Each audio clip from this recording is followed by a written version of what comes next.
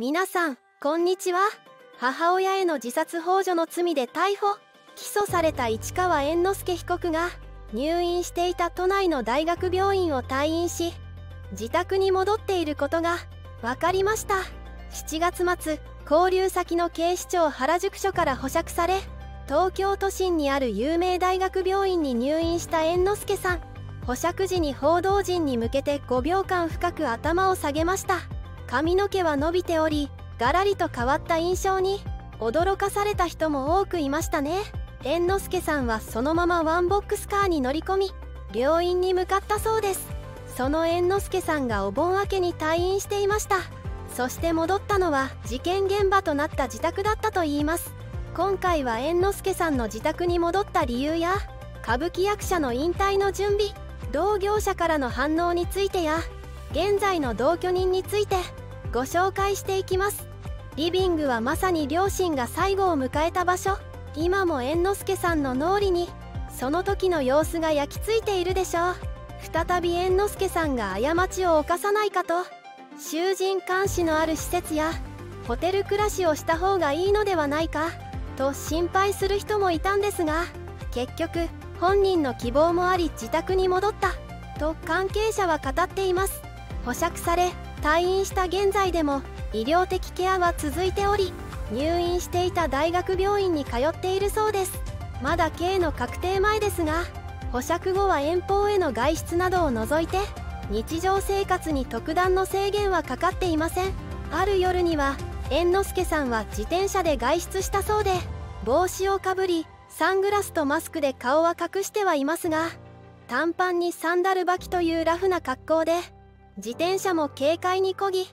潜伏生活を送っているようには見えなかったようです。そんな猿之助さんは歌舞伎界引退の準備をされていると言われています。猿之助さんが今年6月に逮捕されて以降松竹は救援などで数億円の損害が発生したとされており慣例で松竹は役者に請求はせず借金の肩代わりの形で付き合い続け猿之助は客席を埋められる数少ない役者の一人なので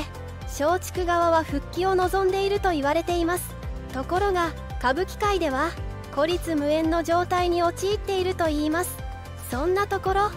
もう表舞台には出たくないと猿之助さんが歌舞伎界から引退する意向を漏らしたとされ猿之助に代わって澤瀉屋を背負う。意気込みが強くなり歌舞伎界に命を捧げると決意表明したと言えます。今なお猿之助被告の復帰を願う。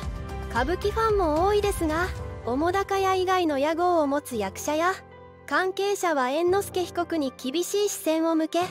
復帰してほしくないとまで口にしているといいます。それは今回の事件で猿之助被告の母はもちろん父で歌舞伎俳優の市川段四郎さんも犠牲になっているからです。市川段四郎さんは脇役のイメージこそ強いですが努力し続けた方であり奔放な役者が多い歌舞伎界でも悪い噂がなかったと言われています。温厚な人柄で澤瀉屋以外の多くの人にも慕われており猿之助さんの行った行為を今でも許せないと憤っている方も多く松竹は復帰を模索しているそうですが段四郎さんを慕う人たちの反発が予想されています。もはや梨園に居場所を失った猿之助さんは最近は口癖のように仏像でも売ろうかなと漏らすようになったといいます。猿之助さんは少年時代から仏像に傾倒し時に友人たちにコレクションを自慢げに見せることもあったとのこと。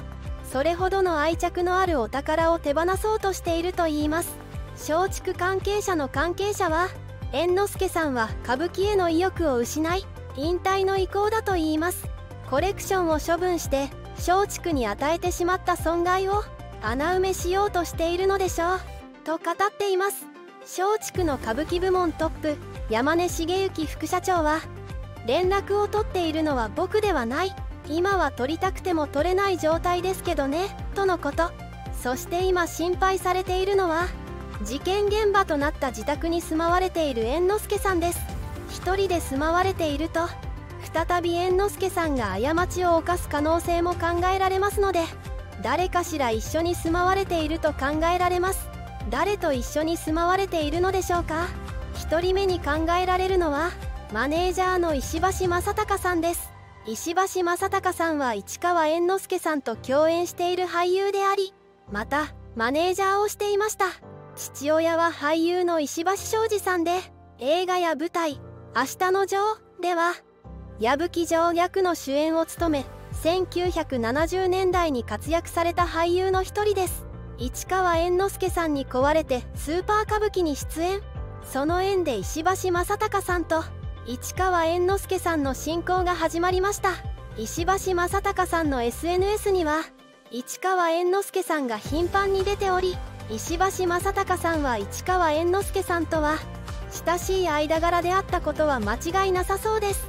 そんな石橋正隆さんは2006年5月9日に小柳ルミ子さんと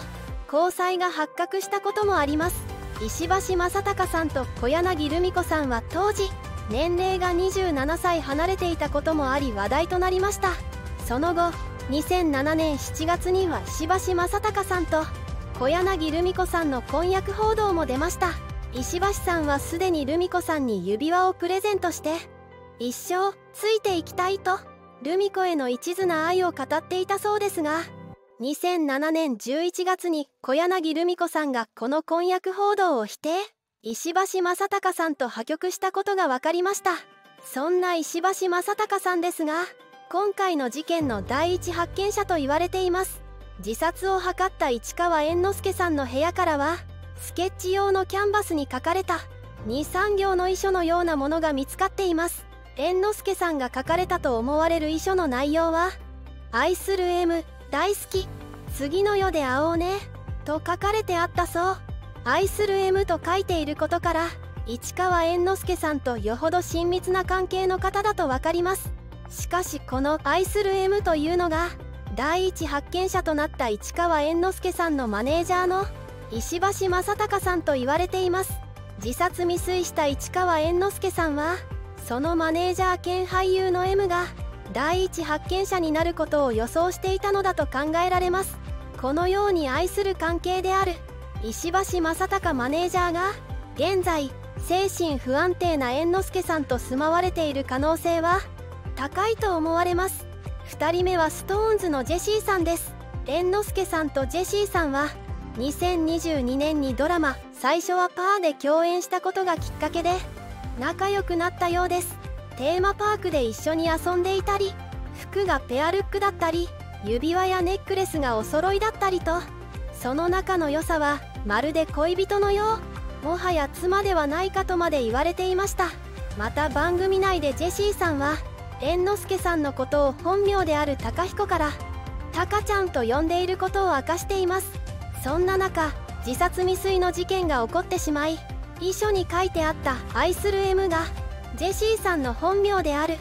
ルイス・マサヤ・ジェシー。日本名は佐藤マヤなことから仲良しだったジェシーさんに当てたものではないのかという声も上がりました。愛する M がジェシーさんであっても親友としてであっても現在精神不安定な猿之助さんを支えるために一緒に住まわれている可能性はあると思われます。いかがでしたか？今回は猿之助さんの自宅に戻った理由や歌舞伎役者の引退の準備同業者からの反応についてや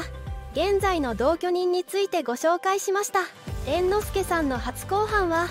10月20日に東京地裁で行われる予定です。今後も猿之助さんの動向には注目です。最後までご視聴いただきありがとうございました。コメントを残してくれると嬉しいです。チャンネル登録高評価もぜひお願いいたします。それではまた。